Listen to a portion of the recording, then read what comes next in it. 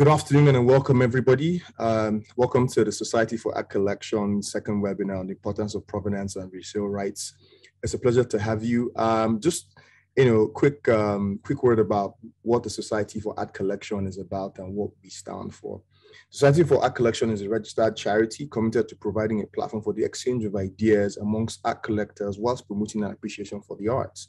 The society, through its systematic, knowledgeable, and organized means, will it's a how-to guide for novices as well as established collectors, journalists, critics, dealers, gallery owners, investors, and scholars on how to navigate the exclusive part of art collection. So in, in, a, in a sense, we're trying to, you know, democratize what it means to be, you know, what it means to be, you know, what, you know, what it means to understand what, what art collection is about and everything around, you know, um, all the tidbits around you know details around what art collection is about because we believe as a society that everybody should understand what it's about. It shouldn't be something that is for a select few you know. Everybody has what it takes to number one appreciate art.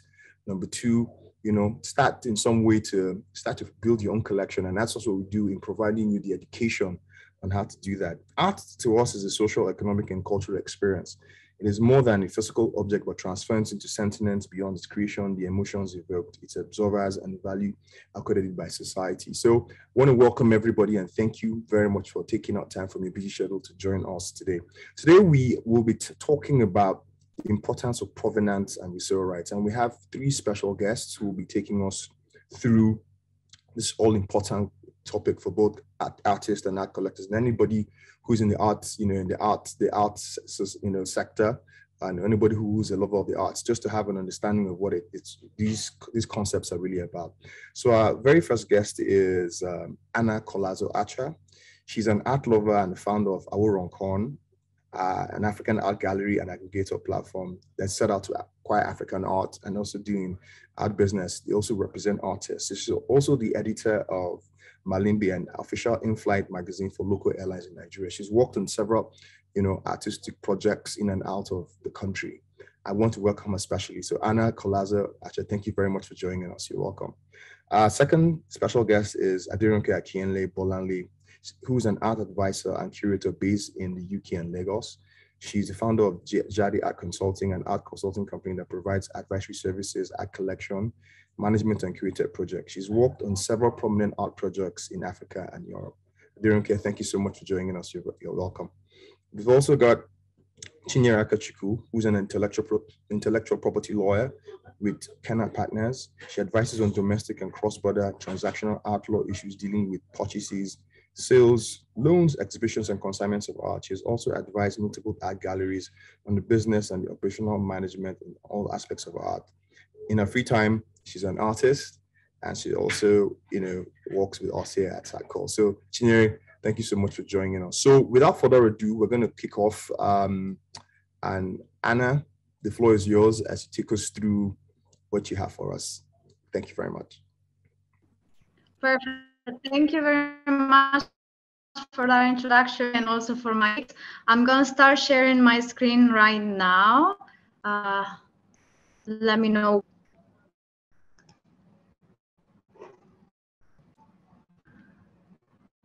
is working?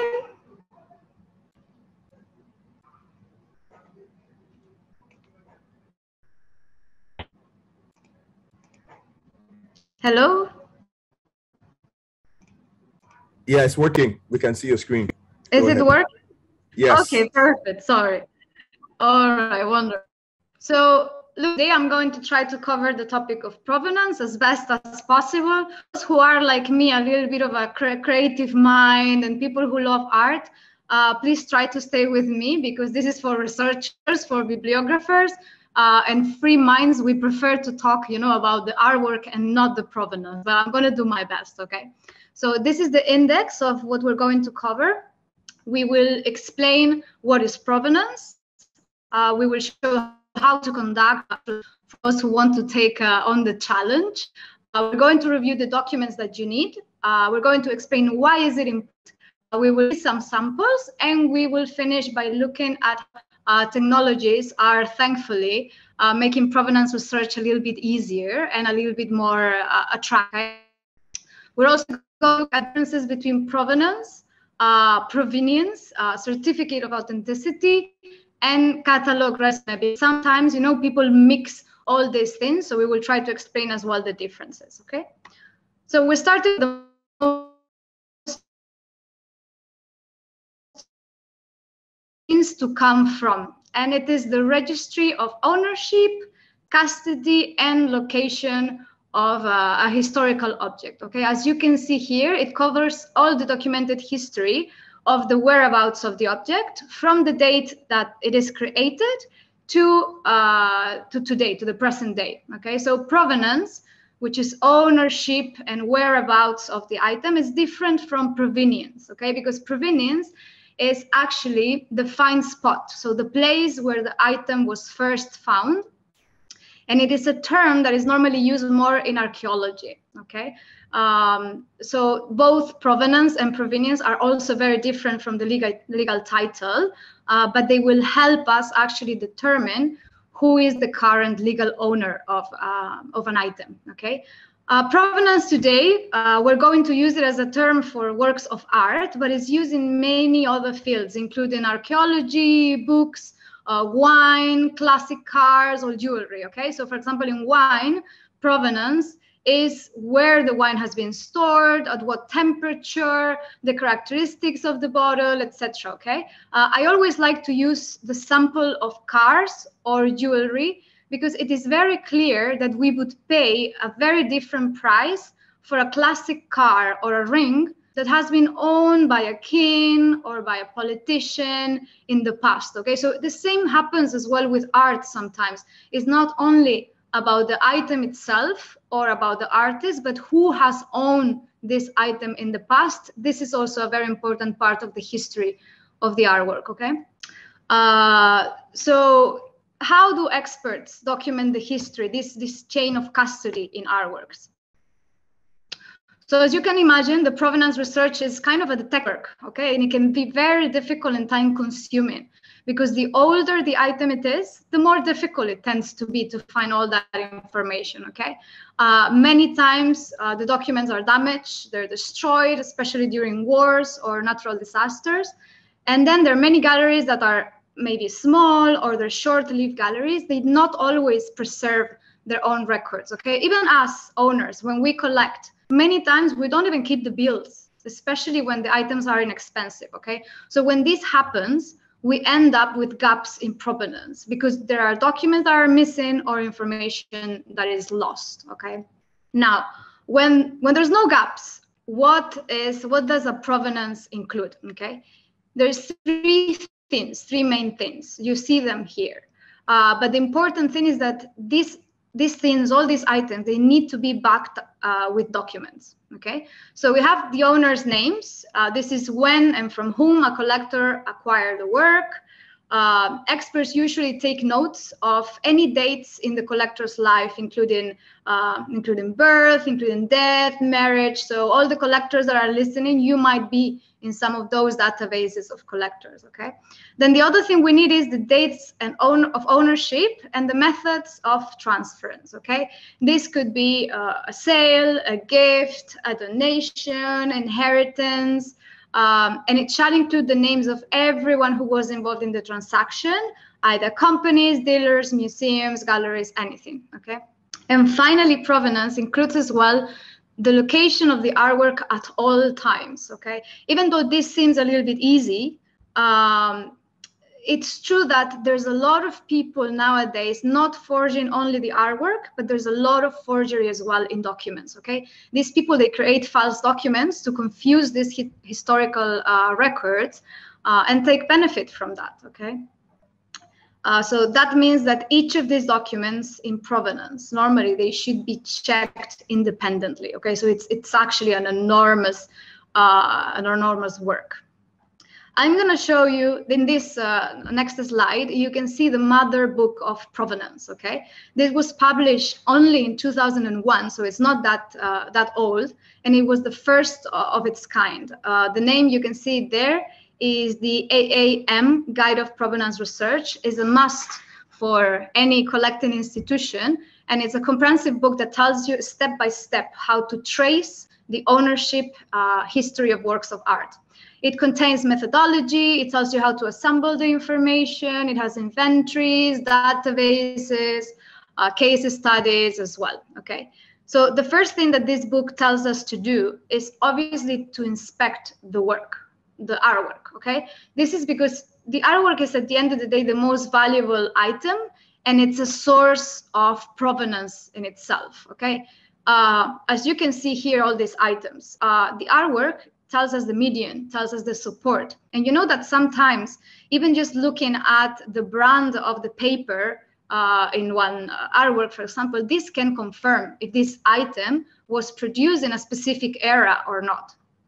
We have the signature and date, which tell us, you know, the, uh, the first date uh, where we have information about this item. We have then the back of the, the back of the painting, this has very, very important information usually, okay? It can have inscriptions, you can have uh, exhibition marks, you can have dealer stamps, uh, gallery labels. This will tell us a lot about the whereabouts of the item uh, at a specific time, okay? And then finally, there's a lot of uh, also information in transport or shipping because we might have uh, in the item as well some custom stamps, for example, okay? For those who love this detective work, uh, there's actually a very interesting program in the BBC. Uh, it's called Fake or Fortune.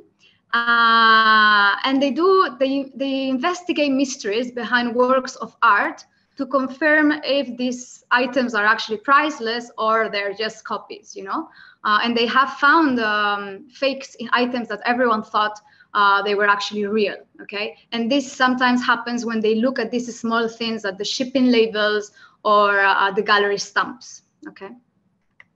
Now, here you have a list of documents that give you information about the ownership and the whereabouts of the works, okay?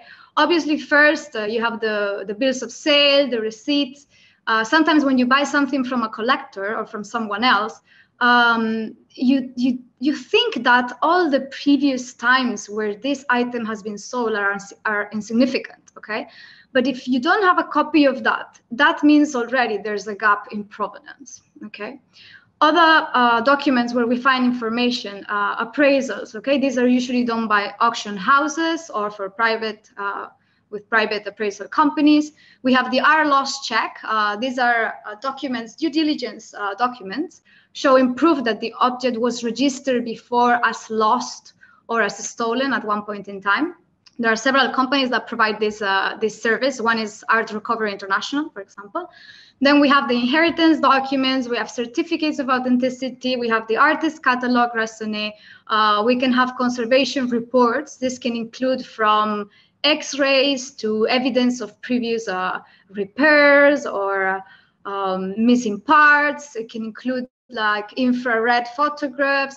Uh, the most important thing is this is any technicality that has happened in the item, but it has to be registered by a conservator. Okay. Then we have, for example, photographies. Uh, this could be from the artist in the studio with the artwork, or it could be the collector with a finished item, or the artist and the collector. Many times these photographs are key to uh, confirm the authenticity of artworks, okay? We have, for example, letters or correspondence from the artist to the collector, let's say. There are many cases where we can see love letters, and this is a piece of provenance. Um, there are later uh, press releases or attributions, anything that has been published about the artist or about the artwork or about one exhibition where he was, this is very important as well. Uh, the same with literature, any journals, personal notebooks, anything that has appeared in a book in a magazine, in a newspaper. These are very important documents for provenance. Um, the last thing where you can find uh, this type of information is the events, okay? Uh, it could be at museum, uh, museum or gallery exhibitions or at auctions, etc. Okay. The most important thing is that if the work was included in a public exhibition or in an auction, chances are good that it was also published in, in a catalog, okay? And this catalog contains information that is also important now. So why is uh, provenance so key and so important for, uh, for a collector, okay? So provenance determines three, three main things that you see here, authenticity, valuation, and ownership. And anyone who owns a painting, uh, I'm sure we, we all agree that we want to make sure that all these three things are very clear with our items, okay? So for example, providence, uh, provenance in authenticity, uh, those documents they help us confirm the date they help us confirm who's the artist uh, especially for uh, portraits as well who is the subject of the portrait etc so they can confirm if a painting or an artwork is authentic or not. Uh, evaluation as we said already uh, it's very important because sometimes people who have owned the item before give also an extra value to the painting okay? So this can change everything. And and we said it as well with photographs. If we have a photograph of a painting with a king or a politician the item can increase in value. And then in terms of ownership uh, provenance give us a clear explanations of who has the legal title okay? And how uh, the legal title has moved from one person to another. And this can help us uh, uh solve disputes or, or, or proof ownership, okay? Um, and this is very important because as you can see here in this, uh, in this sentence, it is estimated that, that 15 to 20% of uh, art in museums are either forged or misattributed. So we actually, it, it's proof that we have to do a better job with provenance. Uh, we have been hearing lately a lot about this term. But problems with ownership and looted art are not new. They were actually very, very frequent between 1933 and 1945.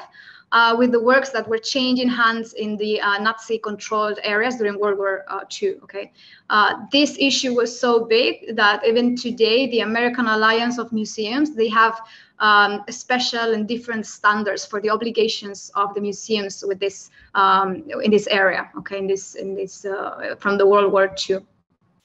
And obviously now it has become increasingly important in Africa in recent years. We are living a very special moment. Uh, I'm sure you have seen in the press uh, that the items from the Benin bronzes are, are going to be returned to Nigeria by Germany. And now it, we need to be very conscious about this because now it is Nigeria's responsibility to ensure that good provenance reports are created for those items. Because if we had that in the past, then we wouldn't this this wouldn't have happened in the first place okay? Uh, so provenance as you can see helps establish the legal uh, but also the moral validity of the artworks. Germany is sending them back because uh, because they think it's not ethical to keep something that is not yours okay? Uh, they have also uh, for your information they have also um, established a $2 million uh, funding provenance research for this type of items. And even also many museums in Britain, they are now employing special staff just to review the items that they have from this colonial era, okay? So this is a little bit what we've, uh, what I wanted to tell you about provenance, but I haven't showed it to you yet. So let me show you, don't get excited. Uh, this is how traditionally provenance looks, okay? It's just a piece of text the length of the provenance can go from one paragraph to 100 pages, okay? But it's important that it's clear and that it's organized and that it's complete. Um, this is the traditional format used by most museums and most uh, auction houses. Uh, and they use the different uh, punctuation for different things. Okay, so for example, semicolon is if a work has passed directly from two owners. But if it's not clear, those owners, they use a, a period. Brackets are for the live dates of the owners. Uh, parentheses are used for dealers and for auction houses, but not for private owners. So it's to differentiate them. And then they have the footnotes with proofs. Okay. Imagine 100 pages of this. This is why technology comes to help us uh, at those times. Okay. So te new technologies have helped us uh, in terms of collecting the information, but also in terms of presenting it. Okay. So let's see uh, a sample of digital provenance. As you can see, it's already an improvement from the previous slide. It contains the same information, but it looks more attractive and it's easier to see all the all the different parts okay um, it's also more secure and blockchain is one of the of the technologies um, that can help the art industry okay so let's talk a little bit about blockchain So most people associate blockchain with Bitcoin, okay? But cryptocurrencies are only just a little tiny bit of this. Uh, in simple terms, what the blockchain does is it makes sure that the information cannot be changed or manipulated. And this is very important for provenance, okay? A blockchain uh, based system uh, enables the creation of provenance in a way that it's unalterable, uh, aggregated. You can add pieces as the time goes by, and it's digital. And this means that it's secure, it's integrated, it's accessible, and it's digitalized. Okay. So, for example, on our own case, Aworanka, um, we launched our website last year okay we realized that there were many african galleries that they were having problems collecting information and we signed agreements with uh, over 15 of them. We cataloged all their items. Now on our website you can see uh, more than uh, 1000 artworks from 300 different artists and anyone from anywhere in the world can buy them okay? But why is provenance important to us? Well we are still a nigerian company and we are a nigerian website and this is the country that made famous the 419 okay? So if you want to build trust for people to buy on a website uh, in nigeria you have to do more than anywhere else in the world okay? So what we did is on our case we partnered with the world leader uh, in certificates of authenticity and uh, digital records okay? So anyone who buys with us they receive a certificate from a third party. They get a free account that is linked to a digital record and with this, they can track and they can manage their collections. Okay, so these are the type of things that we need to do to also be able to build trust uh, in buyers. Okay, so now while before provenance was completely separate from the item, now it can all be linked. Okay, so you have the physical the physical artwork that you see here. You have a smart uh, a smart seal. It's like a sticker on the artwork, and this is connected to the provenance in a way that all the information is safe and is unalterable. Okay, and also it can obviously be uh, accessed anywhere uh, at any time and from a smartphone. Okay, so this this is the potential. This has a, a lot of potential uh, to fight against forgeries and to facilitate uh, sales. But it's also a way of democratizing access to fine art. Okay, because this now people can invest and they can do it even in terms of percentage because everything is recorded online and everything is very clear okay so collectors like us we always think of physical artworks because we like to touch them and we like to see them uh, but there are also certified digital artworks called obviously NFTs. Uh, they seem to have exploded last year, but they've been around uh, since 2012, more or less and they record provenance as it goes okay? Uh, from the moment that the piece is minted uh, minted is the term that they use for the registration uh, to any ownership that happens after that okay? This is bought with cryptocurrency and the blockchain guarantees that the original or its limited uh, amount of copies are secure and are not reproduced. So this is just to show you how we're using technology as a way of making sure that we keep provenance uh, in an easy way uh, and it's fast uh, and it's safe. Okay, so no matter what we do, we're using technology to improve this uh, this process of provenance research. And even traditional auction houses such as Christie's, for example, uh, they've been incorporating NFTs already on their catalogs. This year, as you can see there, uh, Christie's sold for 69.3 million uh, an NFT from um, this person known as uh, Beeple. Okay, and then the last. This is my last slide already. Um, when we visit an exhibition, we always see an artwork but we never see the provenance okay? So this is why collectors usually uh, they're less familiar with the provenance they're more familiar with the certificate of authenticity because you you keep it you know because it's something that they give you when you buy the item okay? Uh, us apart from selling on our website and offering the consultant services we want to make sure that we educate that we give access to information and that we promote african art okay so this is why very soon you'll be able to attend an exhibition where you can see the artworks, but you will also be able to see or to download the provenance. Okay, so that means that each item will be exhibited with uh, the letters, the love letters, uh, the photographies, and any other materials that are part of the history of this artwork. Okay, we will give you more information about this as the date uh, gets closer. And I think this is all. I hope it was not too boring and that uh, you learn a little bit more about provenance. Thank you very much. Thank you very much, Anna. Thank you. That's really good. So authenticity, valuation, and ownership. Very, very, very, very key, key subject matters as regards provenance. So um, thank you so much, Anna. It was really, really, really informative and really, really resourceful. Thank you. So we're going to jump straight to Aderonke, who's going to be taking the floor.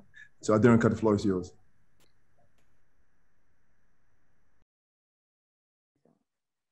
Hi, hello everyone. Um, and for everyone that has joined so far, uh, thank you for joining.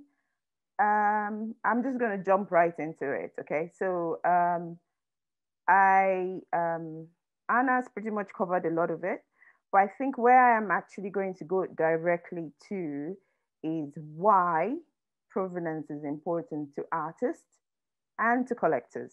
So I'm just going to share my screen so that you can just read along with me so that um, we can do that together. Just a second. Um, okay. Yeah.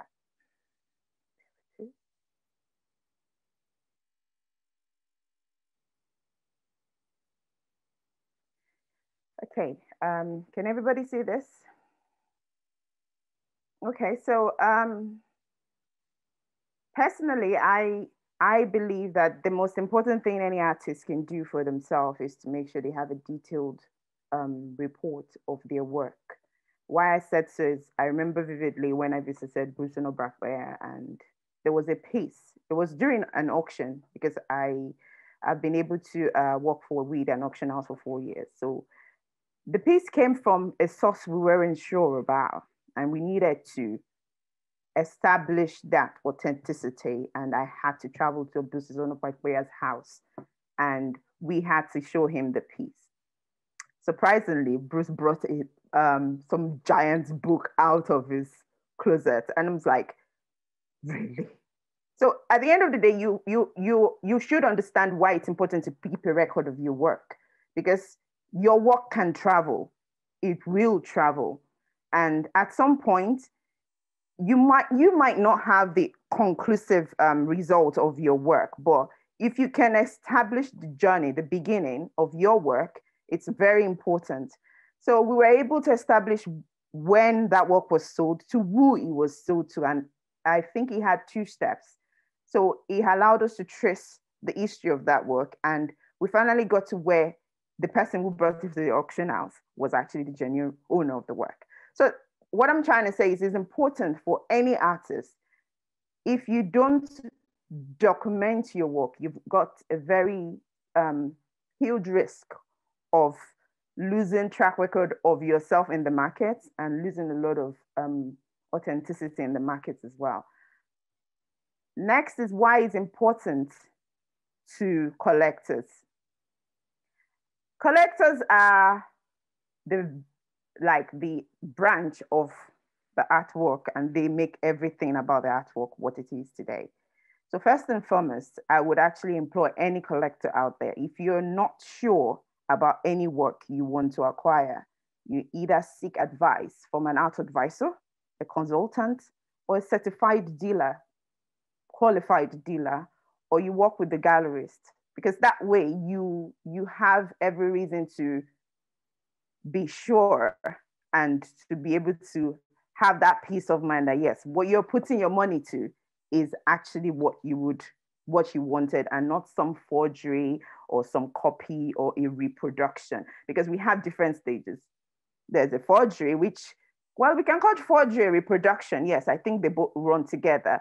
And we've had serious cases about that where I think that was even in France, where a lot of artworks were copied and reproduced and sold as the authentic. And that brings me to the recent trip I had to a National Trust um, organization recently.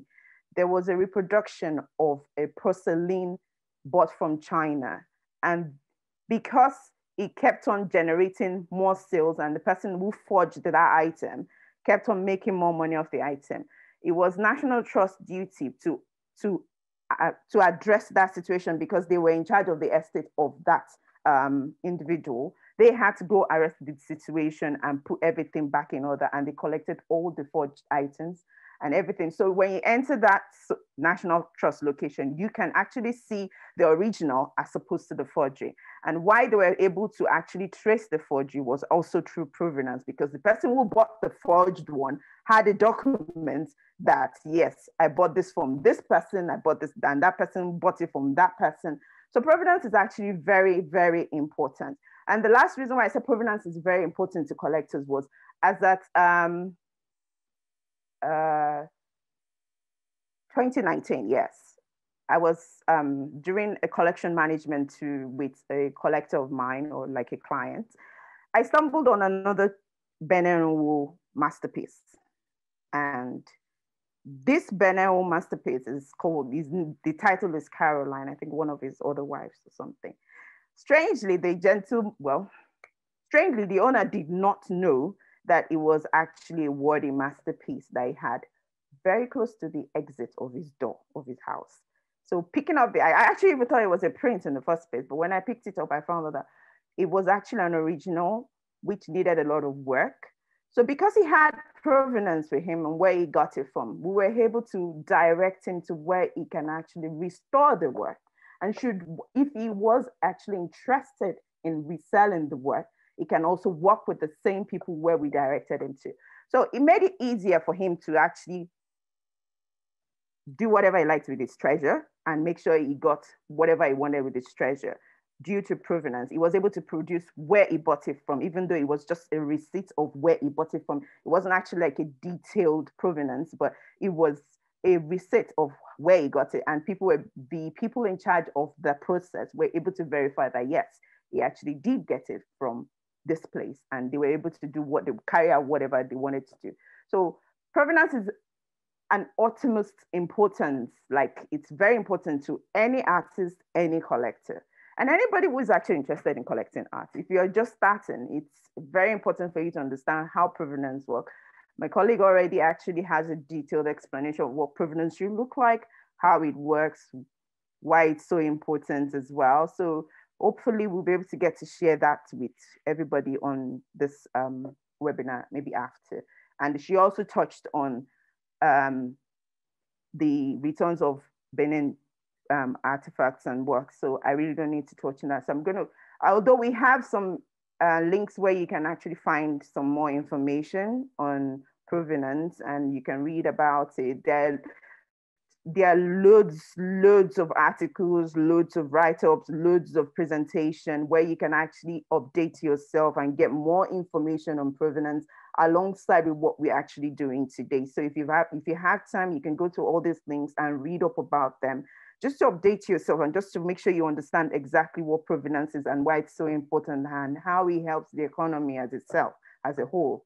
So I'm going to jump right into artist resale rights because I think that has been so much of a controversy for as long as I can remember.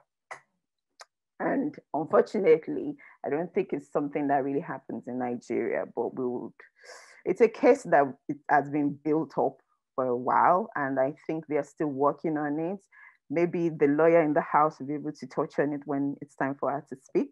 But presently, from my understanding, my findings, um, workshops that we've attended, that I've attended, uh, programs that have been heard on this so-called topic. It's been a very um, sensitive, well, sensitive, yes, because it's very important to the artist. And we've not been able to have like headsway in Nigeria, but there's a case on it and hopefully it's at some point in time, um, I think things will turn around. But let me just quickly talk about it. The artist resale right provides an artist the right to receive royalty based on resale price of the artwork. Now I'm going to jump to the end, to, towards the end slide, because I think it will be easier for people to understand if I compare it, if I do a comparison before I now go into the nitty gritty. Okay, so we have musicians in Nigeria, Wizkid, Davido, all the likes. We have all of them all lined up. when their music is being played on radio, on TV, or used as an advert, they get paid. Some sort of reimbursement is being sent, reimbursement is being sent to them. And as the, the more popular the artist is, the more money gets as a, as a resale right. So we need to understand things. And unfortunately, in the visual aspect, I don't think it has actually gotten to. I know we've not, we are not there yet. It's a case that is ongoing. We're still hoping to actually get it reinstated. So we are still working on it. Okay, and that brings me to go back to um, the beginning and where resale rights actually really started from. And we can look we can see it on this particular slide that it actually originated from, I'm going to just go strictly to the history. It originated from France. And this was as a result of having um, a very prominent artist died and later a work of his that he sold for $100 ended up selling for $150,000. And you can imagine as at then how much $150,000 is going to be. And there was nothing sent to the family. There, and the family was still in destitute. And imagine back then, there wasn't so much.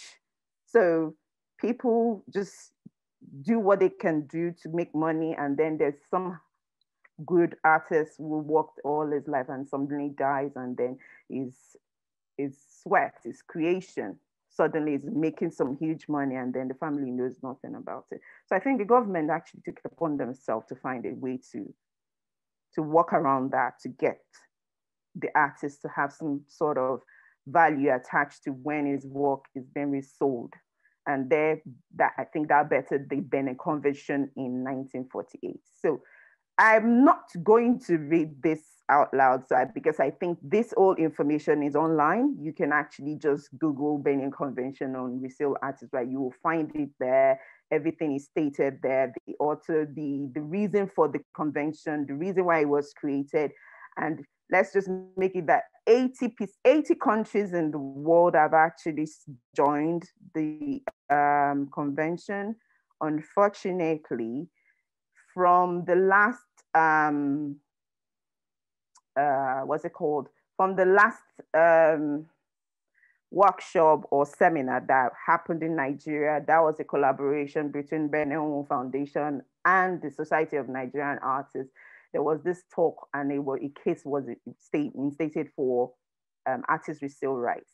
I put the link there, hopefully, so that you can go back to it and read up on it. There's also a YouTube link that you can actually watch it's actually really detailed because we had most of the experts in the industry come in to talk about it. We had people from Bonhams because Bonhams has another branch in Nigeria, which is also known as Africa Now. So they were around to actually give you in-depth information how um, this all resale rights actually does work. But I'm going to actually still go into because it's important that people understand what resale right is and what percentage a resale right should be and all that.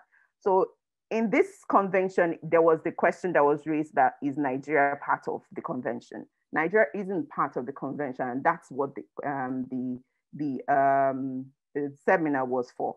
It was a, a period where we can find out how do we get Nigeria into this convention? How do we make Nigeria part of this convention? How do we have to, what do we need to do to reinstate Uh, uh, in Nigeria so that people can start benefiting from their creation. It's actually very important because artists don't make money daily, if you know what I mean. Artists make, make money through projects, through commissions, through exhibitions, and most of them it's not like every time because an artist needs time to work. So if you have time to work, at the end of the day, you cannot be that productive on daily basis, like just keep producing stuff every now and then. No, creativity doesn't work like that. So we need to understand that for the artist, why artists actually are craving for um, a resale right is for their own benefit, for their after career life. It's very important to them. So um, I'll jump to the next slide to give an example what resale rights do, how much it is, um, what is expected, how much is most likely going to get to the artist. Okay, so the Nigerian market is actually a very big market right now, and every year it keeps growing. And even as it's growing, nothing goes back to the Nigerian artist, the person who created the work. Okay, for example, which I know that it was actually talked on in the same seminar I just talked about in 2019, yes.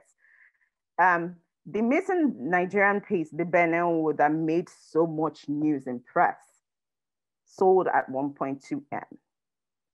If we're going to do the artist resale rights on that, it will give us an estimate value of 60,000 pounds. I actually used 5%, but I think it's between 4 to 5%, depending on whatever country it is and whatever um, whatever laws are attached to that because I think the government actually decides what percentage should go to the artists. But I use this because from my research, what I've seen, some people actually, some countries do four, some countries do five, depending on whatever the government approves. So this is just an estimate figure. It's not the detailed one. So um, yeah, so imagine if you have all the Benin works that were sold in the last, give or take six, five, six years, sold in auction, and then you have artist resale rights come to the family's estate. Imagine how much that would do for the family, what it would help the family to do, and all that. So this, these are the things, these are the questions that come in. These are the things that people wonder if it's if it's right. And then let's not forget that sometimes the the house doesn't really have much to say about the the the auction house doesn't might not have much to say about the resale rights sometimes it's always the um, the collector that might have to say something about the resale rights. So we have to be very um, a bit mindful about that as well, because um, sometimes it might not be the auction house that is paying the resale rights. It might just be the owner of the work. So it, it varies depending on what the law is on ground as well. So maybe um, Chinyere will be able to help us with that. We don't, I don't think we have any right now in Nigeria. So maybe other laws that apply might be able to um, explain, give a broad explanation on what exactly it's, it should be and how it should be. Same goes for Njideka's work that got sold as well. If there was an artist rights on it, you would get possibly that figure that you see there, and that's just an estimate as well. So um, that brings me to the importance as well, and I have to go back to that so that I can actually put that there and let people understand. It, the resale right successfully balances the interest of the artist and the, I'm sorry, I couldn't see that very well. I hope I'm reading it right. Um, sorry, let me just move this. Yeah, that's right, actually. So, um, and the, at the on and recognize the ongoing stake of the artist as in the economic value of the work. AR is not only important mechanism supporting artists and their assets, it will be a significant driver of Nigeria's thriving creative economy. Nigeria is really, really booming right now, and it's it's important that we don't leave visual artists out of it. So if um, I want to use this case study of, an, I wrote this case study of an artist, Davido, because it's important for us to actually understand that what resale rights can do. Davido was one of the prominent artists in Nigeria as well. And at some point in his life, he fell ill. And there were um, exhibitions that had to do some sort of fundraising for him. Now, this is where resale rights comes in. If there has been resale rights on his work for the past couple of years, I'm very certain at some somehow there must have been savings to allow him treat himself and stuff like that money come in for him. And that way they we don't have to start running around to do fundraising and making sure people understand the how how creative this person is.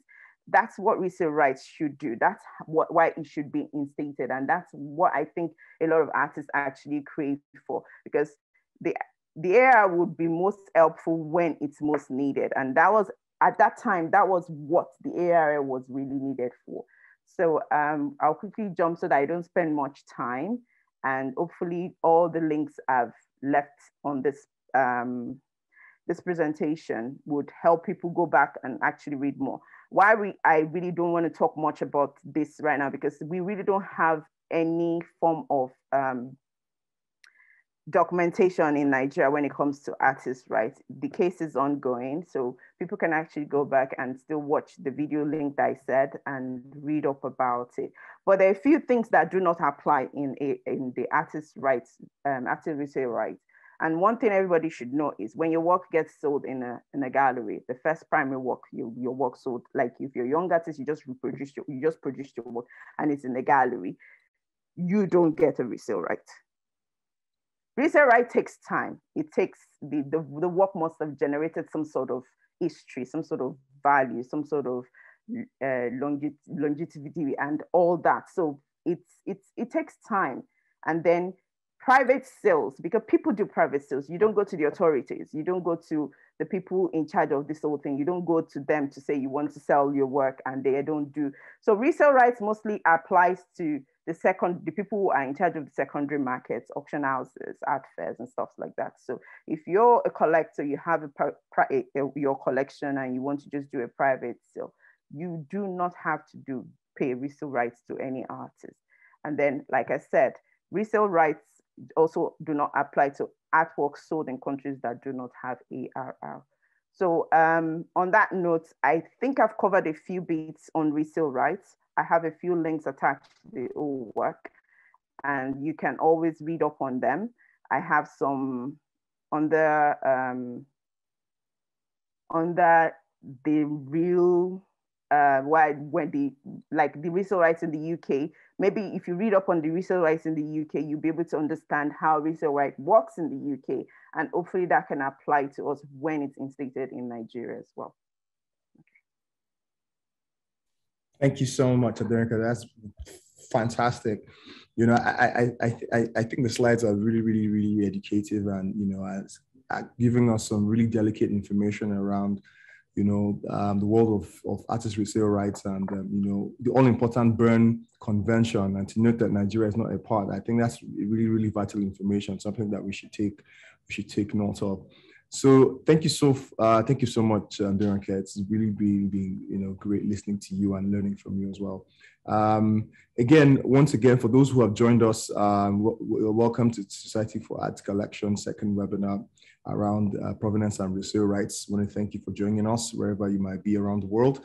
And if you have questions, please kindly feel free to put your questions in the chat um, chat box on, on your on the right hand side of your screen let's just have, um, you know, our, our, guest facilitators are here to take up any questions you might have on provenance and, and resale rights. So without further ado, we're going to jump right straight to our, our third um, guest who will be talking about all things law around this very all important subject. So welcome Chinyere as she takes the floor. Welcome Chinyere, the floor is yours. Hey, thank you, Obi, and good afternoon, everyone. Can you hear me? Yes, okay, good. All right, sorry, let me just.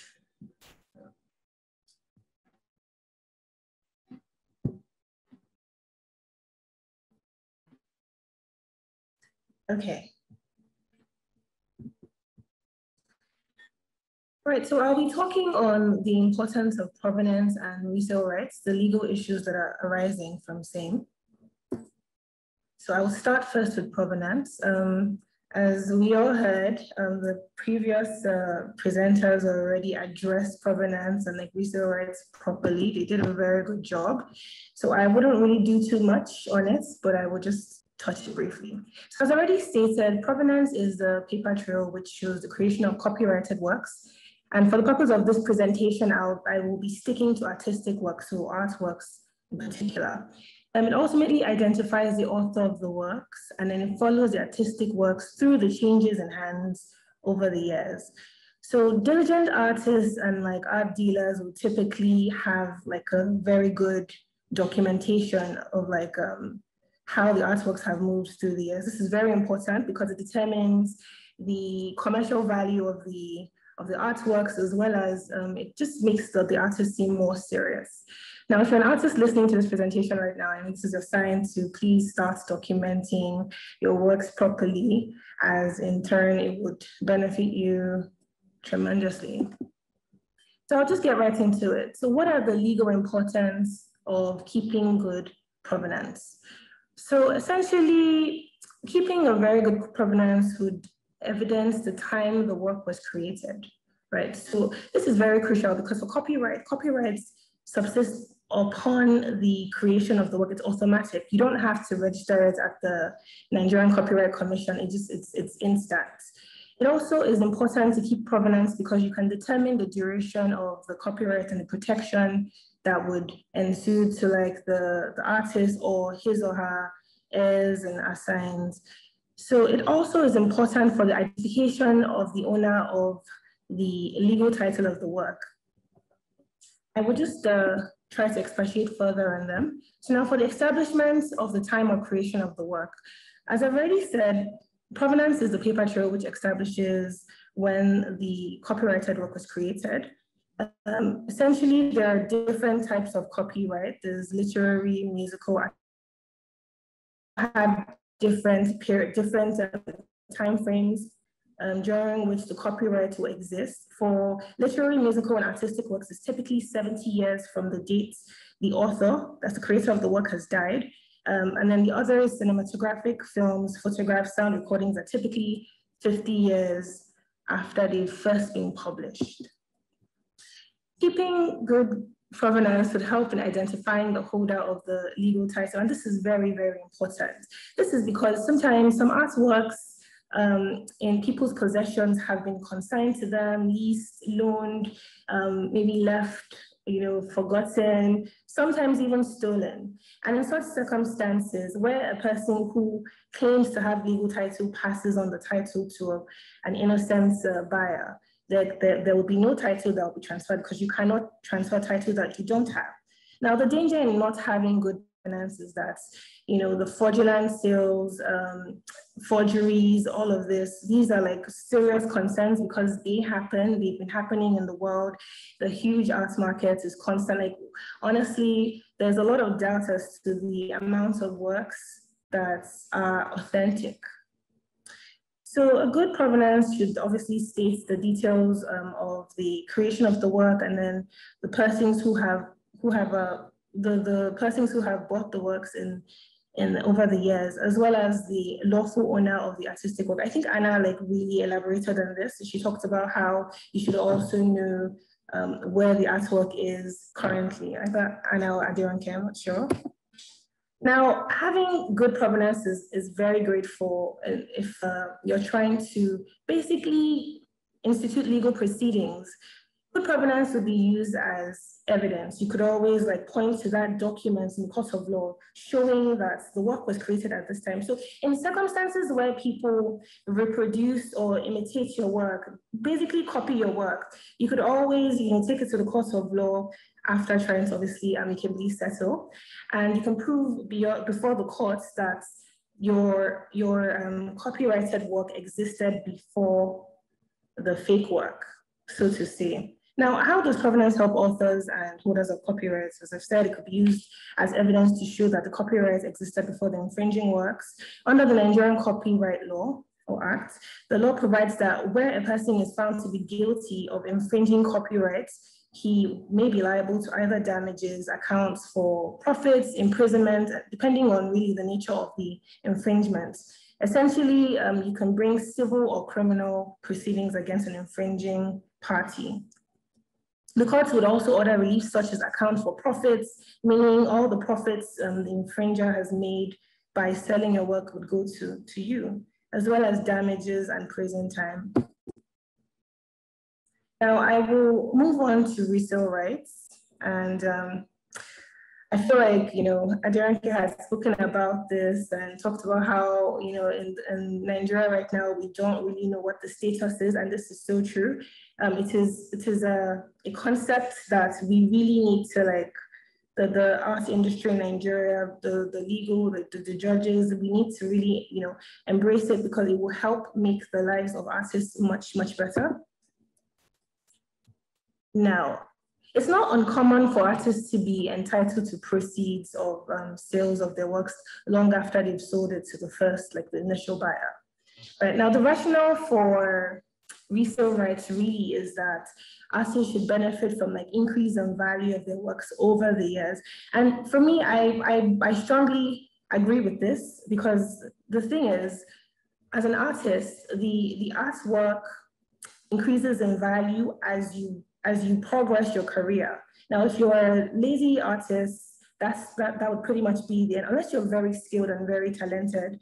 But otherwise, the artist is responsible for the growth and the, the, the increase in value of the artwork. And I, I believe that it should be um, rewarded in, in such situations. Now, some countries have resale rights included in their legislation. In Nigeria, we have resale rights as well, but it's a very limited scope. And it, it, I think it only applies to three-dimensional works, manuscripts, and graphic works. You can look at section 13 of the Copyright Act of Nigeria. And the act essentially provides that authors of graphic works, three-dimensional works, and manuscripts shall have an inalienable right to a share in the proceeds of any sale of that work or manuscript in a public auction or through an art dealer. Now, it, this further limits it. So private sales or sales between um, sales between friends, you know, sales that aren't like public auctions. This, this, it's, it's the act implies that, or the wording rather implies that you, like as an artist, you would not be able to get any um, proceeds of the resale in that circumstance. And I feel like that should definitely be um, tweaked. Now, um, I'm going to talk about resale rights under the Berne Convention. Now, um, so Nigeria is actually a contracting party under the Berne Convention. And this essentially means that um, Nigeria has uh, consented to be, consented to, to pretty much um, follow the provisions of the convention. You can always check the um, WIPO websites. Um, I think this was done back in 1993 or so. Now, in particular, Article 14 of the convention states that artists, specifically artists that, that are creators of um, works of art or manuscripts, literary works, have a right to an interest in resales.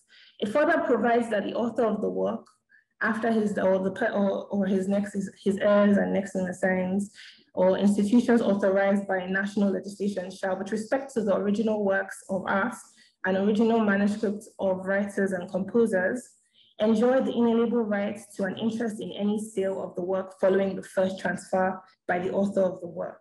Now, this would imply that um, in the, the scope of a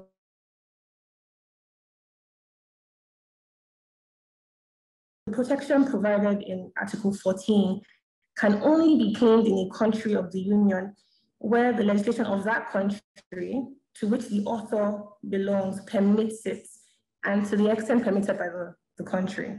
Now, Nigeria has already limited it to just graphic works, to just um, manuscripts and three-dimensional works. So unfortunately for us, it's like, you know, they give you a cake and they say, no, just have a slice. You can't have the, you can't have the entire thing. So um, definitely this is something that I think um, the, the country needs to reform for the Copyright, you know, Act has to, to, consider, to consider sorry. So I also thought that it would be interesting to talk about the role of collecting societies, and they're also known as collective management organizations. I think that they could definitely play a part in, in um, royalties, you know, enforcement and receipt of royalties, as well as proceeds of resale of art. Now, collecting societies essentially in charge of negotiating and granting copyright licenses and collecting royalties on behalf of copyright owners and distributing same to them. Uh, there's been a regulation that was released in 20, 2007, which essentially states that um, the collecting society is um, in charge of drawing up like tariffs in respect of remuneration, um, it demands for usage of copyrights for its members, the, the artists. It also sets the, the tariff. Um, it has to consider the monetary advantage to be to be obtained by the artist in, in, in comparison to the exploitation. Um, it also talks about distribution of royalties as well. Um, right now, the collecting societies don't really play a huge role, but there definitely is some leeway for them to do more. Um, maybe in time this will be considered, but as for right now, nothing besides this is nothing done. Now, in conclusion, provenance is very key for development of the arts. Like it is very essential in resolving like legal disputes, not just for the authors of the works and the sellers, but also for art collectors and the art world at large. Now, the development of provenance as a great practice will do wonders for the Nigerian arts because this will put us, the artists, the, the country really, um, on a semi-equal footing with um, foreigners in the wider international arts market. It will also help in the management of copyright infringement. It will help limit and reduce forgeries, fraud, outright misappropriation of art and misrepresentation of legal ownership. Um, next up is, there's also a negligible amount of case law um, in regards to the interpretation and enforcement of resale rights in the country. Um, and I, I believe that this is because sometimes people don't know their rights. And if you don't know your rights, you can't fight for your rights. You won't go to court, so there will be no development in the area. Now, this is a disservice. We definitely, artists definitely need to um, start fighting, not fighting, but asking, asking for what they actually deserve. Um, ultimately, resale rights in Nigeria is a concept that needs to be better developed. Like collecting societies, collective management organizations have a huge role to play. Um, I had asked a question, a rhetorical question where I said, is, is there a case for artists who believe that they should be entitled to proceeds of sales of their work after subsequent sales and increase in value? My, I, the answer is yes. Yes, I believe that we all agree that the answer is yes. So resale rights will ultimately reward artists, especially in these present times where art is the new liquid gold. Thank you very much for listening to my presentation. I hope I did not bore anyone with my legal terms. Thank you very much, Chinyere. It's really, really, really great. Thank you so much. And it's it's really, really a, you know, a really, really interesting um, when you talk about the legal aspects of of of of resale rights and provenance. Thank you so much. So um, I want to welcome everybody again and thank you for joining us. Um, this is now an opportunity for us to ask questions. And um, we have a question here. I'm going to be directing this to uh, to Aderonke. The question goes, um, um, given that the all-important Berne Convention has not yet been domesticated in Nigeria, how should we optimally approach the question of resale rights in the arts? Aderonke. Okay, so um, I believe there's an ongoing, um, uh, what you say, in, initiation for it. So um, I think, well, I believe um, the Council of Arts in Nigeria and a few of the um, lead member uh, societies of Nigeria were in charge of um, Nigerian arts should come together and also talk to the minister as well, because I think that's what um, they're actually doing right now, but it's yet to, um, because like Chinyere said, there are other um, areas where the Berne Convention has actually approved things um, things in art. So we need to be able to find a way for visual arts to get on board as well. So I think those bodies in Nigeria, like the Council of Arts Nigeria and the Society of Arts Nigeria and a few other foundations, like the Benin Foundation, who has already started a case for it, I feel they can come together to start some sort of initiation, which I think they have already, but it's like I said, there's so much controversy on it, and it's still like an ongoing process. But I think if those bodies come together and involve the government and see how they can put in a legislation about the resale rights for visual artists, I think somewhere we would have an headway. I think so. Thank you very much, Aderonke. Thank you so much for the response. I want to also um, implore uh, special guests, uh, those of us who are here, we have questions around resale rights and provenance, and it's a good time to engage um, to engage our speakers. So feel free to ask your questions. Um, in the meantime, I want to recognize uh, the presence of some, some really special people who have joined. Uh, we have two esteemed members of our governing council member members of the Society for Art Collection. We want to recognize the presence of Professor Fabian Ajogwu, who is one of our council members. Welcome, sir. It's a pleasure to have you here, sir. Yeah, we also uh, want to welcome uh, Mr., uh, Professor Jess Castellote, who is, I'm sure he's very well known, very well known in, in the art society and art circles. Yeah, he, he's, he is, he's, you're very welcome, Jess. Uh, it's good to have you here. Yeah. Thank you. So, um, so we're looking to get questions. Um, in the meantime, um, the, the Society for Art Collection is, like you had mentioned, a society that is a registered charity committed to providing a platform to exchange of ideas amongst art collectors while promoting appreciation for the arts, and which is what is happening today. You know, educating the arts and making sure that we, you know, provide all the, you know, all the necessary information and education around art collection and you know, it's a society that um, welcome members. And if you feel that you want to get to know what, what the society is doing, you know, to understand how it is that we operate, you know, welcome you to become a member today. And um, the, um, the website is pretty much there where you can get all the information that you want. It's in the, it's in the message board and welcome new members, you know, to join us even as we you know, democratize art collection and everything around arts, you know. So um, there are questions uh, that we want to entertain, and, you know, what, and this is all important question. So Prof. Well, thank you very much, uh, um, yeah, and to our very distinguished panelists, Ana, Aderonke, and Chinyere before I put my question, this is probably the first time I get this golden privilege to be on the crying side of gender now, uh, given that your panel is um, me cry the same way, uh, gender insensitive, or maybe then that's an enlightened. Thank you for very insightful uh, you know, discussions on the issue of provenance and resale rights. Now, I, was more concerned about the unbundling of rights, uh, particularly in the Nigerian environment, um, given that some of the things we see, and I just be, give a practical illustration. When today you find the young people watch uh, Marvels, Marvels is a bundle of artistic expressions that were comics in those days. The Iron Man, or all of the people make billions of dollars in, in, in Hollywood were essentially um, artistic expressions in the form of cartoon. And here you have resale rights. My concern is how should we begin to marry, in your thoughts, the, the world of the um, visual artistic work with what today is a huge opportunity uh, in other media, including movies.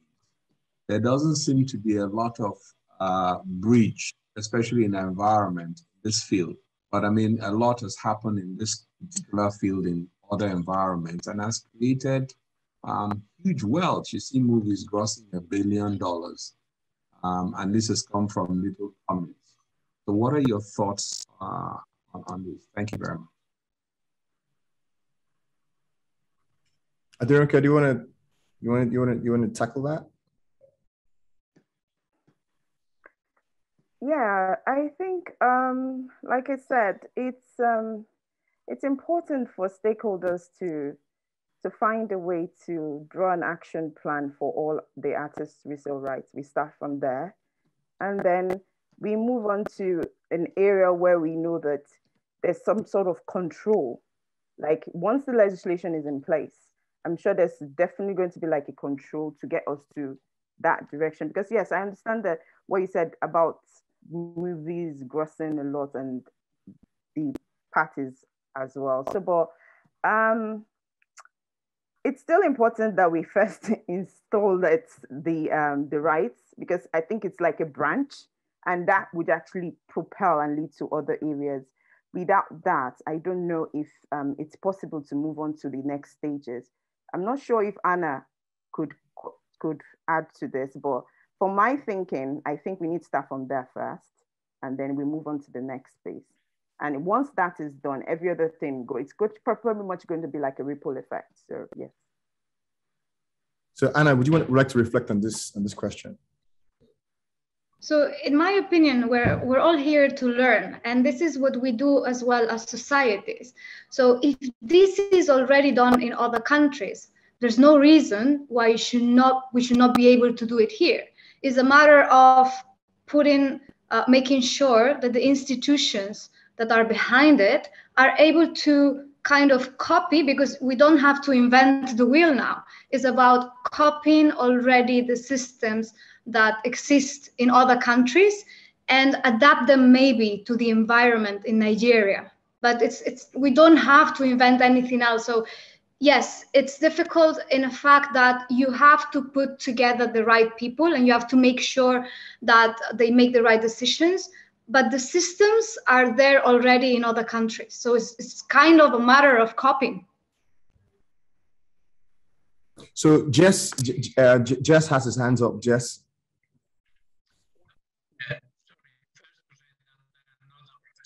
And student of these matters. I, I don't know much, but I think we are taking for granted that there, there should be a right. I think right is a very strong word. Uh, now, for instance, Ana says um, that it is in, uh, in other countries. It is not in every country. Uh, for instance, in the States, uh, you know well, this was, there was only one place where this was, there was a law for this, was in California, a law that was passed, I don't remember, I think it must have been at the end of the 70s. And eventually the Supreme Court said no. So now they do not have resale rights in the US. Uh, I think this is a matter that is not closed, that is open to, to discussion. I, am in favor because I see the advantages, but I think uh, it, it, this is arguable. Say that there are many other issues where there are resale um, processes where you don't have a right. Let's say if I have a, very nice piece of land uh, or a, a, land that is not very nice, now I, I sell it and for whatever reason, uh, the loca- not the location, but the circumstances change uh, and that land becomes very valuable. Should I ask for some resale money? Nobody will say, or I guess most people will say no. Now, what is so special with art? There is something special with art. I agree. There is a, a creative process. But uh, I think this, this issue is not as close as some people, especially uh, societies of, of, collectives of artists that have a, a, an interest in getting this. I think the issue is much more open to, to discussion. So that's my only little um, view on this, that, that I, I, think we should tread a little bit more carefully. Um, it's convenient, in my opinion, yes, should be a right. I'm not so sure. Thank you, Jess. Thank you very much for that intervention. So um, we have another question, and um, um, this is directed to Chinyere. And how so, so how so how can information get to the man or woman on the street who is upcoming and has no idea of what their rights as regards resales. So what do you think, Chinyere, about this? So I think that that's a very important question because there are lots of upcoming artists who don't really know what to do. Um, but the, the, the hard part is it's a bit but the easy part is that it is available online. You could always pick out some, open up, search for copyright acts as your, I'm guessing you're a visual artist, the Copyright Act is what is going to apply. You go through it, it's, it's, it's pretty, it's pretty easy to read through. You could always seek clarification from a lawyer to assist you where you don't understand certain things. Um, but ultimately, the the art industry, the, the legal rights surrounding um, artists is very, very complicated, and you definitely will need to seek um, another opinion or a legal opinion. Thank you very much, Chinyere. There's another um, interesting question here. Um, it says, based on the foregoing discussions, does it mean that Nigerian artists and stars whose videos and music are played on YouTube and Netflix do not currently get paid? And if so, should this not be a matter of contract between the artist and these companies based on existing international law or law of jurisdiction or where the companies are based? So Chinyere, I think it's another legal, another legal question. as regards um, artist rights and creators' rights?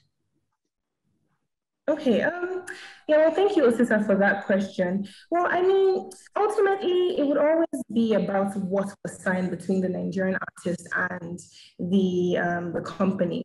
Um, I'm not quite sure what the, and I'm guessing there are different contracts. I'm not quite sure what the content of each contract is, um, but I don't believe that um, Netflix or the or YouTube don't pay their, their um, the people that they're pretty much using their content for. Um, it, it really is going to have to be a case by case, like um, situ- like analysis of the situation. We can talk further about this afterwards because the, the question isn't very clear to me. Um, hi, Osita. I can quickly respond to um, a little bit around that question. Now, for things like um, YouTube, for instance, I know pretty much about YouTube. What happens is that once you have YouTube channel, once you monetize your channel, it is it is constantly monetized. As long as you've reached, you know, you've reached the the parameters for earning money on YouTube, you get paid for eh, you know each as long as you the video you upload hits the right parameters, you get paid. So you have to, I think for you to get, to get monetized, you have to hit about, um, have about at least 4,000 watch hours and have had, have at least a thousand subscribers and continuously in perpetuity, you earn money for, you know, the videos you upload to YouTube. So that, that's an ongoing thing. Now for Netflix, it depends, it's all contractual, it depends on the sort of agreements that you are signing with Netflix. For instance, the, it could be an acquisition. They could buy the entire rights of the content from you and pay you a really really big sum, or they could it could be a lease. And if you're leasing the content, um, if the content is going to be on their platform for one year, two years, three years, there's a negotiation that happens and you get paid. So I think for those ones, they're basically pretty much clear. Um, before we go on, we just want to recognize the you know the presence of some really highly esteemed people. We have Professor Enase Okonodale, Deputy Vice Chancellor of the Pan Atlantic University. We want to welcome you. Thank you for joining us. Um, it's a pleasure to have you.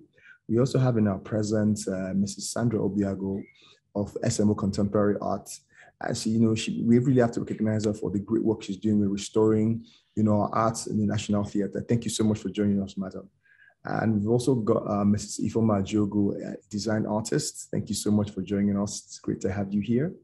Um, we also want to recognize the presence of Mrs. Ihuaru Akachukwu of the CSCS. Thank you so much for joining us. So are there other questions? Um, questions, this is really, really interesting. It's a rare, it's a rare opportunity to have this really, really, you know, um, really, really special ladies in our midst with all this information and knowledge. Let us ask away. And, you know, um, so are there any other questions, any other remarks, any other additions, any other thing we want to add, you know? Okay. Um, just a reminder that um, you could um, inviting everyone to become members of society uh, with the the site is right there where you can find the membership form. You know, um, this is something that we take very seriously, educating, you know, all stakeholders around really, really important subjects regarding, you know, the arts and, and the practice of the arts and the appreciation of the arts is really important because at the Society for Art Collector, we feel that education and having the right information is what is really going to liberate us and actually put us where we need to be. You know, it's also a catalyst for nation building because when we understand our cultural values and the things that actually, you know, um, make us exactly what we are, our identity is not lost, and it, it really helps. It goes a long way. I also want to recognize the presence of engineer Peter Bankole, Director of the Enterprise Center for Development. Thank you very much, sir, for joining us. It's a pleasure to have you here, sir.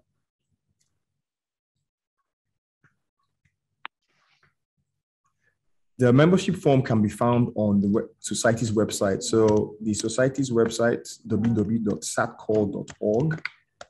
Once you navigate the site, you will find the membership form there.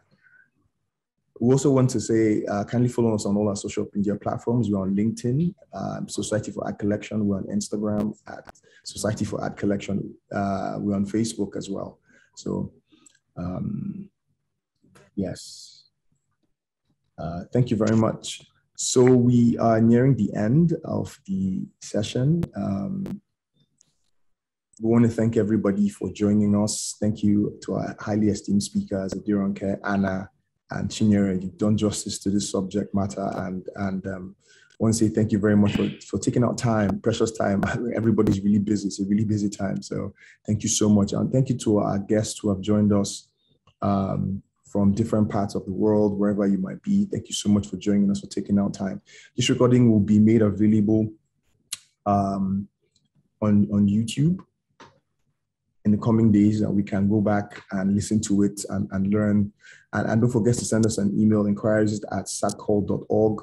On the website, you'll find the membership form and inquiries around becoming a member. And also you want to have, you know, maybe the other questions you want to ask about Act Collection, you know, and also reaching out to our, our esteemed guests, please feel free to, you know, send in your inquiries. We're here to listen to all that you have to tell us about. Thank you so much for being a part of this um, seminar. Thank you so much for joining us and um, look out for our updates, look out for information from society on all our social media platforms on our website.